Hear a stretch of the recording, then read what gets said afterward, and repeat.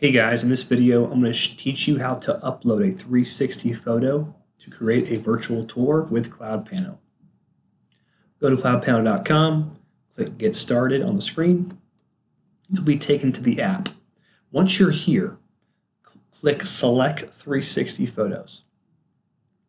So I'm going to upload one 360 photo from my files here. Okay, It grabs that photo and it centralizes the view so that as you scroll around, you are in a complete 360 environment. If you upload a photo, which I'm going to show you, that is not 360, it will look very strange. Here's a picture of me and my son eating donuts. I upload that photo to the Tour software.